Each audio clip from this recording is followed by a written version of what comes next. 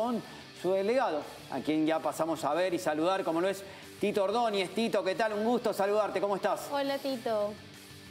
Hola, buenas tardes, gran gusto de, verte, Carla. Lo mismo, Julián, un gran abrazo y siempre grato estar con ustedes. Bien, Tito, ah, o sea, tendríamos que empezar hablando del momento de Alianza, futbolístico, deportivo, pero venimos de una convocatoria. ¿Te sorprendió no ver jugadores de Alianza en la lista principal? No, me, parece perfectamente válido porque, porque son jugadores que básicamente el enfoque para jugar los partidos en México y Salvador eh, son los jugadores que han estado alternando permanentemente en el extranjero, que vienen en fecha FIFA, que son nueve días, así que me, parece, me parece bien, o sea, lo, he visto de una manera absolutamente normal, ¿no? Ok. Tito, ahora sí pasando al tema deportivo, primero en Alianza Lima, para que nos cuentes... Eh, ¿Cómo está el equipo? ¿no? Porque siempre el clásico definitivamente vivirlo días después y luego del resultado es también un poco distinto. Bueno, a ver, eh, eh, el área de fútbol es el que podría un poco de alguna manera este, explayarse, digamos, Carla, en esta situación, pero hay algo que es fundamental siempre que todos los que estamos en el, en el sistema de fútbol lo entendemos, que significa perder un clásico o ganar un clásico es un envión anímico o la posibilidad a la, a la, semana siguiente, si lo perdiste, de poder recuperarte. Entonces profesionales lo enfocamos y siempre se enfoca de esa manera. Así que mañana tiene que ser, mañana a las 3.30 en el Estadio Valencia Lima tiene que ser el inicio de la recuperación. Nosotros estamos totalmente arriba, estamos futbolísticamente, sabemos que estamos fuertes, tuvimos un mal no solamente un mal resultado, sino un muy mal rendimiento el, otro, el, día, el domingo pasado, pero lo bueno del fútbol es que siempre se puede revertir los resultados y siempre, y siempre nunca no hablemos de revancha, sino simplemente siempre uno puede tratar de cambiar la imagen en, eh, negativa que en este caso tuvimos. Así que por lo tanto, en ese aspecto estamos totalmente tranquilos y esperamos tener un muy buen rendimiento mañana y poder ganar y después ya enfocarnos en, en el partido del fin de semana próximo, que es Carlos esté en la ciudad de Jaén, ¿no? Tito, y con respecto a esa semana previa del Clásico, que la atención para todos, nos incluimos nosotros como medios, eh, también en el club, se fue tanto por el lado Farfán. ¿Para ti pudo haber influido o no tuvo nada que ver con la realidad del partido? No, no, no, no. O sea, mire, eh, lo, de, lo de Jefferson, eh, en la vida todo el mundo lo enfoca como quiere enfocarlo. O sea, uno lo ve, por ejemplo, en el caso de Jefferson, el, ¿cuál era el sentir de la institución y cuál era el sentir de sus compañeros? Oye, nosotros queremos que esté. ¿Cuál era el sentir del director técnico, señor Carlos Busto? Nosotros creemos que puede estar. Es un, es un reconocimiento, es un homenaje, es una participación te seguimos considerando parte del plantel porque lo eres, este, vas a generar una contribución futbolística absolutamente grande porque eres de los mejores jugadores y, para mí el, largamente el mejor jugador peruano de los últimos 20 años. Así que por lo tanto el enfoque de la institución fue estrictamente de esa manera, el área de fútbol, sus compañeros demuestran amor al amigo, respeto al profesional, respeto al jugador, admiración al jugador, así que por lo tanto este, de allí no salió bien, correcto, pero eso es parte de, la, de los riesgos que uno toma en las decisiones, que en este caso lo tomó el área de fútbol, ¿no? Ahora, Tito, eh, voy a regresar un poquito a lo que ha sido la conferencia de prensa hoy de Juan Reynoso cuando ha brindado la lista. De hecho, se le consultó por su no presencia en el clásico y el hecho de que todavía no haya podido asistir al entrenamiento, al entrenamiento de Alianza Lima y señaló que ya había conversado, quedó en temas de conversación y que además él era muy respetuoso de las decisiones que tomaban los clubes. A ver, no, eh, tenemos que estar absolutamente claros Juan Reynoso es el director técnico de la selección peruana de fútbol. Y nosotros que somos la institución más grande del país, la que tiene la mayor hinchada, le vamos a dar absolutamente siempre con el máximo respeto todo el apoyo porque él hoy representa, es la cabeza conjuntamente con Carlos Oblitas y Antonio García Pay representan el, Perú futbolístico. Así que en ese aspecto nunca va a haber ningún problema y que siempre nosotros como club Alianza Lima le vamos a dar absolutamente con la mayor cordialidad, respeto, todas las todo lo, lo, que necesite de nuestro club. ¿no? Aparte, nunca, nunca nos olvidemos que Juan Reynoso es formado en Alianza Lima eh, desde los nueve años y este, eso es algo que de allí el camino profesional a veces te puede generar ciertos fastidios, ciertos resentimientos en algunos, pero la vida es una constante, Carla, evolución y uno tiene también que entender eh, el profesional. Por lo tanto, recordar situaciones que, que, se, fue en el año 1992, a principios del año 1993, es realmente detenernos en el tiempo y el mundo tiene que avanzar y el mundo no se puede detener. Así que, por lo tanto, este, nosotros como Club Alianza Lima lo tenemos absolutamente claro. Juan, yo no solamente una vez conversé con él, pero tiene absolutamente claro cuál va a ser la actitud del Club Alianza Lima, porque Alianza Lima no solamente es la institución más grande del país, la de mayor fortaleza, sino que creo que estamos demostrando que somos una institución absolutamente sólida, seria, respetuosa y profesional. Y es lo mejor para el fútbol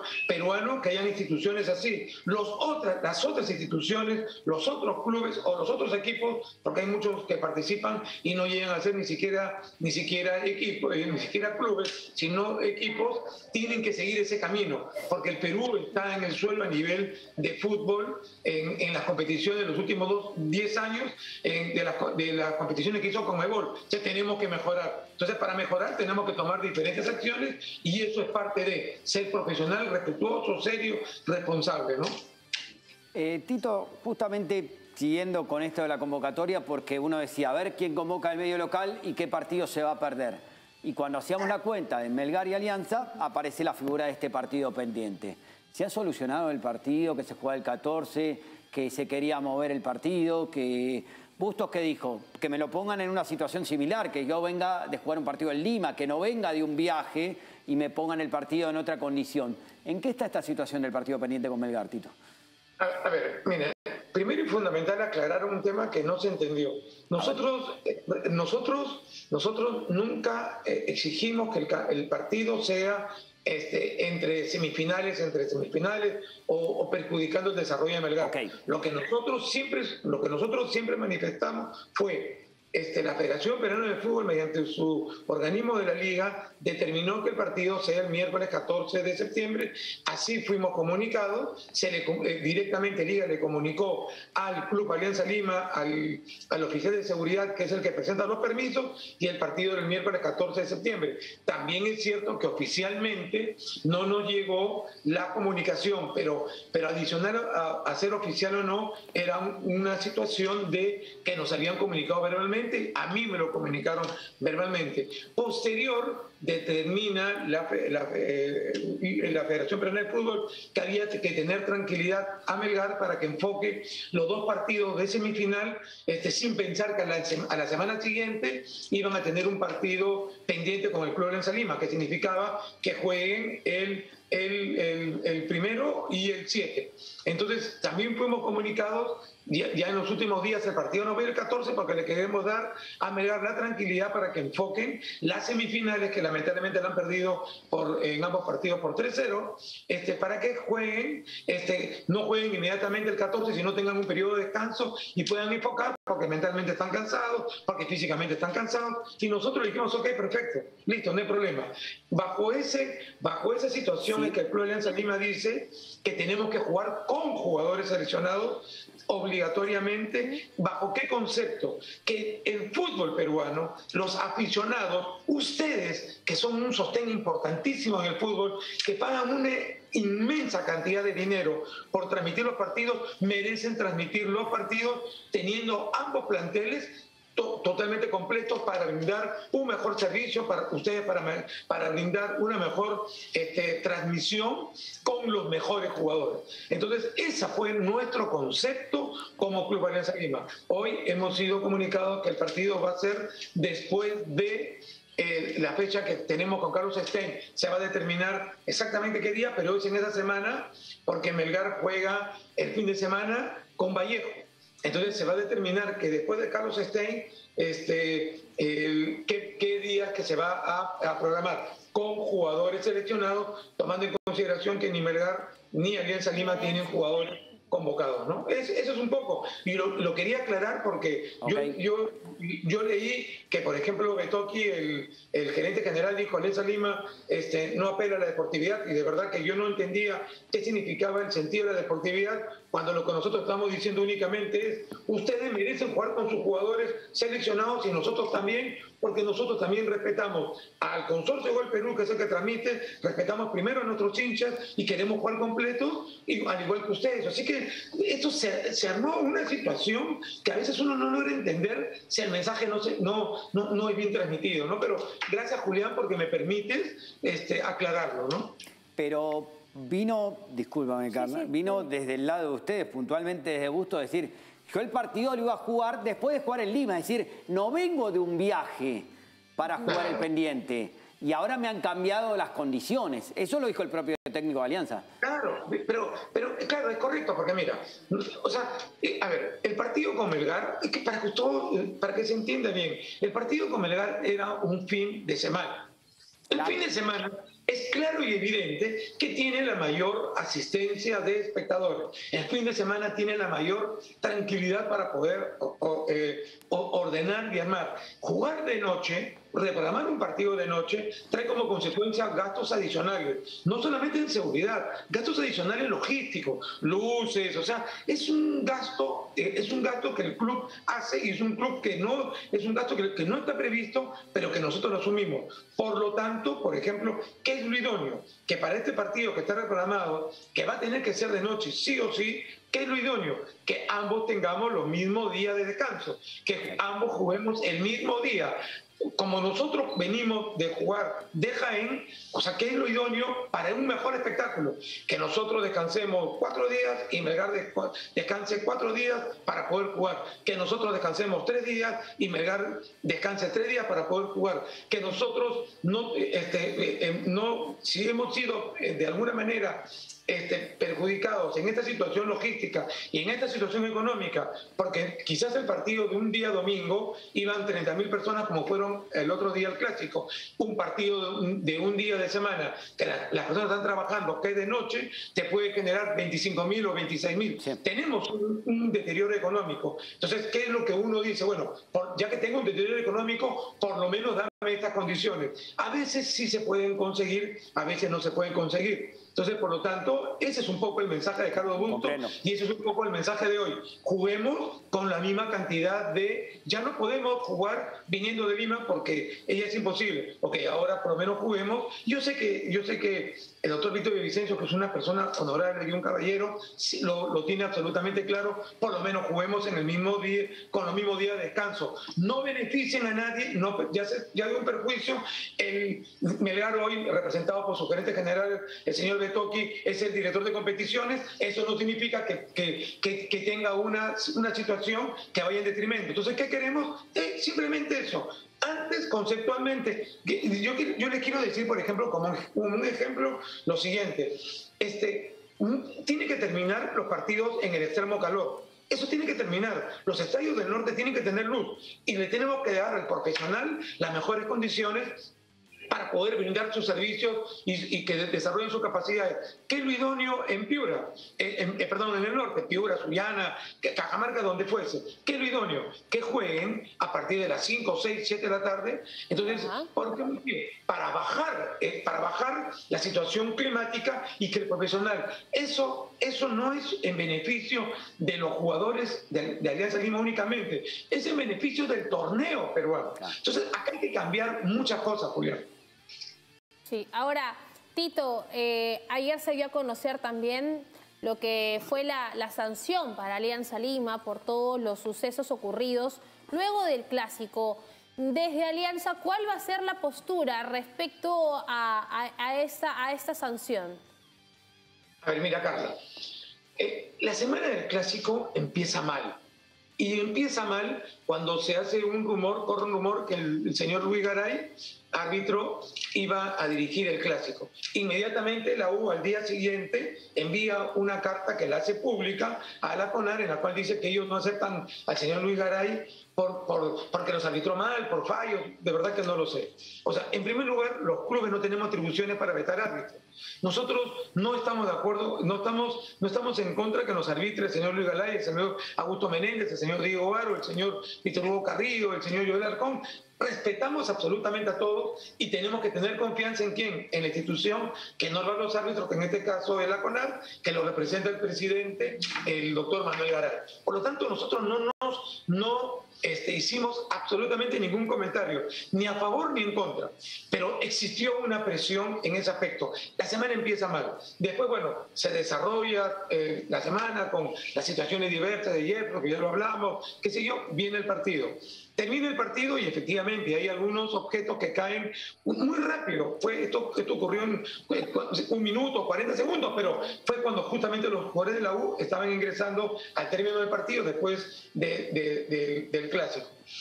Entonces, inmediatamente trae como consecuencia un comunicado del Club Universitario de Deportes este, y este, nosotros entendimos que quizás al día siguiente podían presentar una, una denuncia, un reclamo sobre, sobre esta situación que había ocurrido. Lo vemos perfectamente normal, es su derecho, lo vemos válido, no era sorprendente porque ya habían enviado un comunicado. Lo sorprendente y lo que no podemos estar de acuerdo es en la campaña mediática que se desarrolló por parte del Club Universitario de Deportes pidiendo sanciones, pidiendo que, el, que, que un torneo que no tiene nada que ver con el torneo de la Liga 1 Beso de clausura, que es el torneo femenino, se juegue como un precedente sin público en los estadios, este, pidiendo que hayan sanciones de, cierre, de cierre de tribuna, pidiendo una presión mediática que se hizo lunes muy fuerte, martes muy fuerte, miércoles muy fuerte. Nosotros no consideramos que todo eso se tiene que resolver dentro de un ámbito absolutamente privado que significa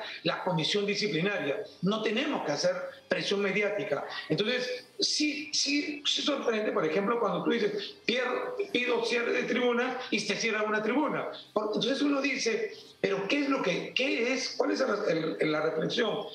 ¿Es, es, ¿Es atribución del club vetar a un árbitro? Por supuesto que no. ¿Es atribución del club este, pedir sanciones dirigidas multas, cierre de tribunas, cierre de estadios, este, como ha ocurrido en este caso que ha sido de tribuna, en otros casos que no hayan partidos a puerta cerrada. El fútbol femenino no es nuestra atribución, Carlos. Por lo tanto, toda esta situación termina perjudicando porque genera violencia. Genera violencia a favor y en contra. Nosotros, Carla, tenemos que ser muy mesurados siempre en nuestras declaraciones, porque aunque, aunque parezca increíble, hay personas que creen que se perjudican perjudica a las instituciones y quieren agarrar la lanza de la violencia o agarrar la lanza de la venganza y así no se puede conducir el fútbol, ni obviamente ni el Perú futbolístico, como siempre decimos, Carla. Por lo tanto, yo hago una expresión de que la presión mediática no era necesaria y es contraproducente. Esto se debió dar dentro de la comisión disciplinaria, más nunca mediante ustedes los medios de comunicación. Suficiente con que ya se haya comunicado lo que había ocurrido y suficiente con la denuncia. De ahí debimos estar internamente dentro de la comisión. Esa era la obligación de ambos clubes. Tito, ayer también conocimos, ayer, antes de ayer, eh, programación, es decir, de las fechas hasta la fecha 18, con día y hora. Y encontramos nuevamente Alianza en horario nocturno, algo que desde este suceso de las luminarias lo veíamos jugando el equipo de mañana o de tarde. ¿Cómo está ese tema, Tito? A ver, nosotros, de acuerdo al informe que tuvimos en el partido con San Martín de la compañía contratada, hubo una sobre, había, había una sobrecarga. No es, no es mi tema fuerte, de verdad, Julián, pero más o menos te lo, voy, te, lo, voy, a decir. Este, hubo una sobrecarga que generó este, que volaran los dos grupos de electrógenos. Nosotros solicitamos a Liga que en lo posible nosotros ya estamos en un proceso de compra, qué sé yo, pero de, de este, como reitero, eso es proyecto y, no es mi ámbito, pero de todas maneras fundamental era, solicitamos a, la Federación Peruana de Fútbol mediante, eh, mediante la Liga 1 que este, evitemos ser programados de noche. O sea, simplemente como un tema de precaución. Y Este, obviamente dijeron, bueno, el único partido que va a ser de noche va a ser con Melgar. Pero bueno, también hay una situación que uno debe entender la, función que cumple el doctor Víctor Villavicencio como gerente general de liga, que vienen las elecciones municipales, no se puede jugar esa noche, eh, eh, perdón, ese fin de semana, ergo hay que adelantar el partido, ¿para qué? Para el día jueves. Y todo el mundo sabe que Alianza Lima, que es la hinchada más seguidora, la más grande, la que llena los estadios, jugar en un horario de día sería contraproducente, entonces nos ponen de noche y nosotros obviamente estaremos siempre a la altura. Después viene un partido a mitad de semana que, que justamente también nos toca este, ser locales, entonces quede con binacional que, que también tenemos que jugar de noche. Pero, aquí, pero ¿cuál, es el, ¿cuál es el inicio del problema, Julián? Mira, acá, acá a veces suena duro las cosas, pero cada liga tiene que tener una serie de exigencias. Exigencias, por ejemplo, si tú quieres participar en Liga 1, tienes que tener estas condiciones infraestructura institucional, puertos, carreteras, hoteles, clínicas, hospitales, restaurantes, etcétera, etcétera. Pero adicionalmente tu infraestructura deportiva tiene que tener A, B, C, D, F, G. Dentro de A, B, C, D, F, G tiene que tener luz. Entonces, entonces, porque no puede ser posible que 11 clubes nunca en su vida juegan de día y 8 clubes sí tenemos que jugar de noche con el perjuicio que yo le expliqué, económico, de menor, de, menor asistencia. Bueno, a la Alianza no le ha ocurrido mucho, baja un poco, pero sí, Alianza siempre tiene el estadio lleno, casi lleno, pero no es justo para nosotros, porque hay un gasto económico, un gasto, un gasto superior. Acá hay clubes, por ejemplo, Alianza Suyana tiene participando 30 años en, bajó, después regresó, pero más o menos 30 años. Y en 30 años no ha podido dotar a tu estadio de luz. Ayacucho lo mismo, el Sporting Cristal que juega en Alberto Gallardo. Y entonces, eh, todo, todo UTC, y así puedo seguir todo, 11 clubes.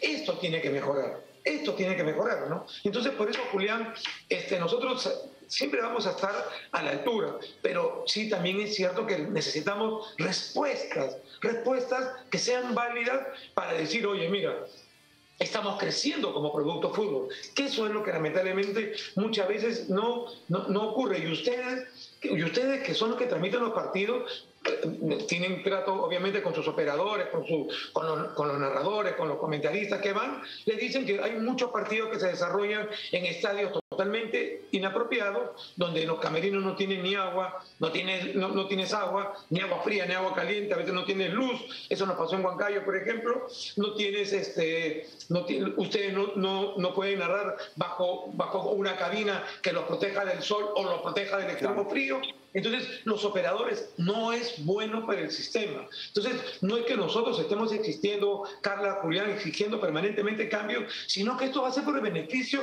del fútbol peruano. El fútbol peruano no solamente somos los jugadores y, este, el fútbol peruano también son ustedes. Ustedes, sin ustedes, no hay, no hay campeonato peruano porque es imposible que no haya televisión. Es el sostén principal. Cuando hubo la pandemia, ¿quién sostuvo a los clubes peruanos si no fueron ustedes? Por allí pasó. Y justamente con ese tema quería cerrar y agradecerte el tiempo, Tito, porque es bueno, una temporada típica que finalice el, torneo en octubre, pero lo cual te lleva tal vez a adelantar tus números y tu presupuesto 2023. Tengo entendido que también se, se presenta un presupuesto a licencias o algo por el estilo, Tito. Y si uno no tiene bien claro el ingreso más importante, que son los derechos de TV, ¿cómo está este tema? Porque escuchamos la licitación en Santiago, posteriores conferencias, pero nada claro. Y los presupuestos se deben realizar para el 2023. ¿Cómo está el tema, Tito?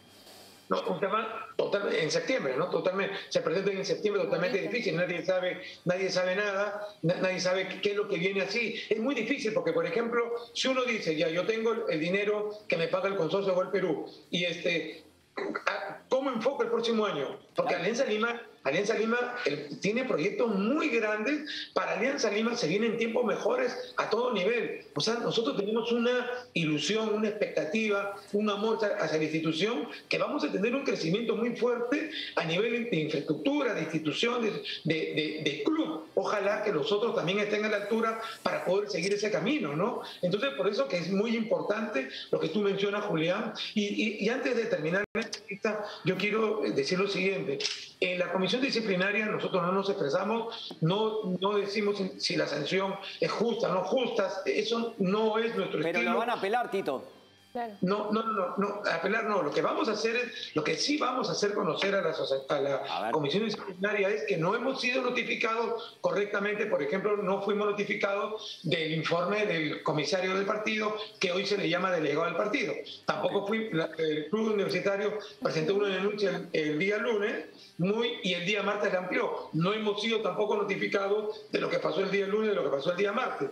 Por lo tanto, nosotros creemos, imaginemos, imagínate por ejemplo, Carla, que, que ella, que ella, me, que ella uno presume que Carla, eh, o, que tú, Julián, me, eh, por no poner a, Carla, que tú me denuncias porque yo, porque yo te insulté y yo hago mi descargo eh, y le pongo un informe a la comisión, a la comisión del Poder Judicial bajo el argumento que, que, yo, que, tú, que, que, yo te insulté, cuando tú no, me, tú no me denunciaste porque te insulté, sino porque te di una patada. Entonces yo nunca le cargué sobre la patada porque nunca supe cuál fue tú. Entonces esa situación la vamos a tener, nos vamos a presentar a la comisión disciplinaria porque nuestro derecho poder descargar sobre lo que fuimos denunciados y que el día de ayer en la resolución con suma sorpresa vimos que no que, que dijimos una cosa cuando la acusación y diversas situaciones habían sido de otras, ¿no? Entonces, tenemos toda la confianza en la comisión disciplinaria porque, ¿saben qué cosa es muy bueno? Que el, yo siempre lo dije, me acuerdo que cuando, cuando conversé con Carla el 17 de abril, 17 de marzo del 2021, a raíz del caso del TAS, yo le, le dije una frase, este, le dije, para que la justicia sea justa, tiene que, tiene que tener dos elementos fundamentales, que se falle de acuerdo a las normas y los reglamentos y que sea oportuna. Entonces, entonces eh, eh, ¿qué es lo que había pasado en esas épocas? No era oportuno. Hoy es muy bueno que la comisión disciplinaria permanentemente esté fallando oportunamente. Lo que hay que requerir es, señores, acá hubo un problema este, no hemos sido bien notificados, no, nos, no, hemos, no hemos podido hacer los descargos que corresponden, le pedimos, le pedimos de la manera más respetuosa, porque nosotros lo respetamos, no emitimos juicios si, si está bien, si no está bien, si fue justa, no fue justa, nunca vamos a emitir juicios así, pero lo vamos a determinar internamente. Con, con, con CONAR, con los árbitros, Carla Julián, nosotros a veces tenemos, eh, eh, no estamos de acuerdo, y yo he tenido una enorme cantidad eh, de reuniones con CONAR, y nunca hacemos eh, eh, eh crítica pública. Lo hacemos internamente porque esa es nuestra obligación de respetar a la CONAR, pero internamente sí decimos y lo conversamos y yo, yo siempre soy muy agresivo en CONAR porque me reciben, no reciben y hablamos abiertamente. Hacia afuera no, porque tenemos que respetar a las autoridades. Está perfecto. Tito, te agradecemos como siempre el tiempo que has tenido para conversar de todo y para presentar la actualidad de Alianza Lima. Muchas gracias, Tito. Gracias, Tito. Un abrazo. No, un abrazo, Carla. Siempre es grato de verdad estar contigo, verte, Carla. Un grandísimo abrazo. Este, Julián, celebro que Independiente de Avellaneda ya ganó un partido, así que. Como 15 que no ganábamos, Tito, de a poquito. El domingo gana River, por si acaso. Tú sabes que, en mis tiempos de Argentina también me, hicieron socio de River, así que el domingo ganamos. Un gran abrazo. Ya mejoraremos. Un abrazo enorme, Tito. Muchas gracias. Chao, amigo. Dale, aquí lo tenemos a Tito Ordóñez.